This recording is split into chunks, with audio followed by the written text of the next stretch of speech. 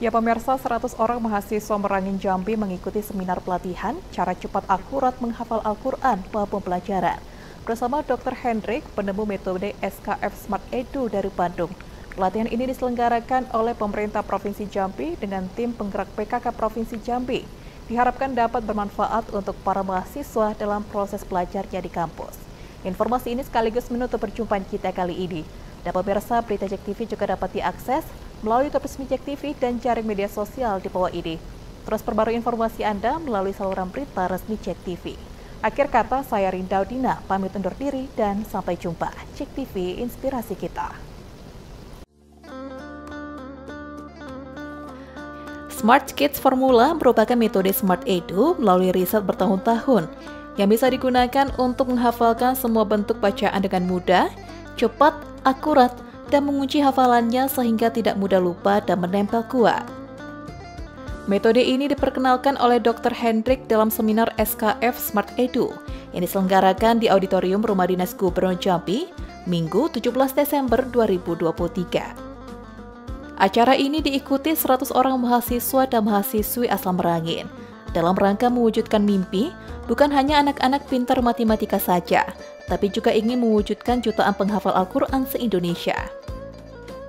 Dalam kesempatan tersebut, Ketua Tim Penggerak PKK Provinsi Jambi, Hesnidar Haris menyampaikan, ini merupakan kabar gembira bagi masyarakat Provinsi Jambi.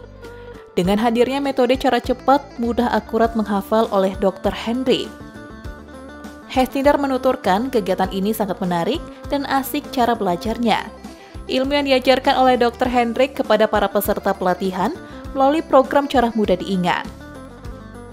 Hesnidar berharap melalui pelatihan ini, kemampuan numerasi dan literasi Provinsi Jambi akan meningkat dengan metode yang diajarkan oleh Dr. Hendrik.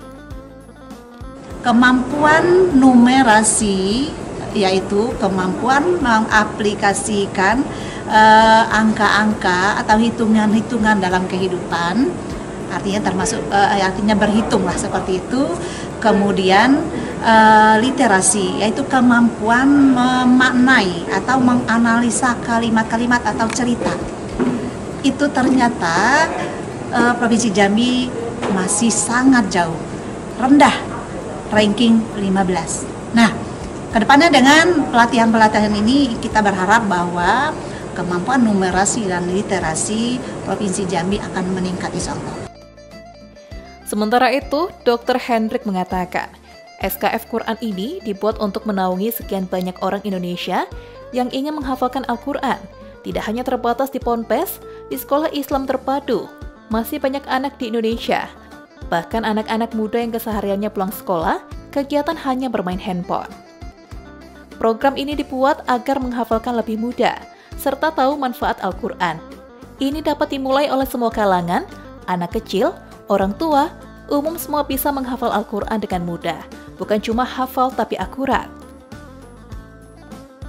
Nah di SKP ini dibuat gimana supaya kita semua istiqomah hafalkan 30 juz. Jadi ketika hafalannya mudah, dikunci di otak, tidak lupa, terus nambah terus hafalan, murojaahnya lancar, pasti semangat hafalin Quran. Dan se-Indonesia bisa ikut.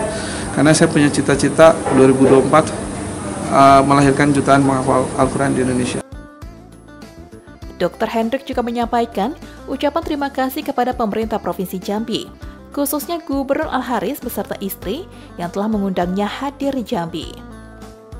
Ia juga menyebut perhatian Gubernur Jambi sungguh luar biasa dalam hal ini sebagai bukti keseriusannya ingin mencerdaskan seluruh masyarakat Jambi, di antaranya untuk menjadi penghafal Al-Quran.